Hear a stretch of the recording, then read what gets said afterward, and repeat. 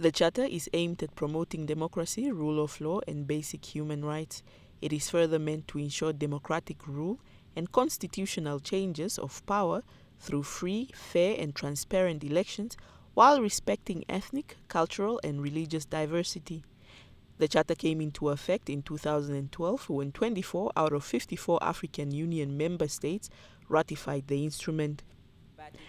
The National Assembly also approved the accession of the African Peer Review Mechanism under the new Partnership for Africa's Development, NEPAD.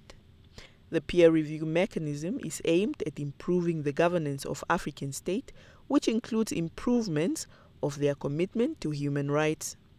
Prime Minister Saara Kuugongelwa-Amadhila says the two documents fall in well with the Harambee Prosperity Plan, which seeks for political and economic integration of the continent.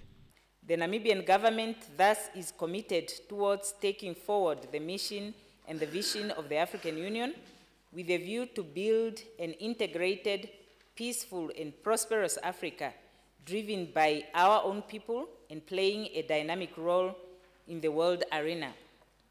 The African Union has abided by its mission, which are informed by the core Pan-African values that define the Union, namely unity, cooperation, solidarity, and self-reliance, as well as thinking and acting Pan-African.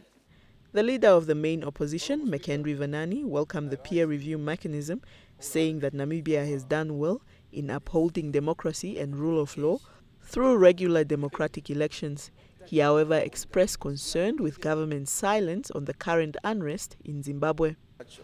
Responding, the Prime Minister said government is working as part of the Southern African Development Community to find a solution to the current instability in Zimbabwe.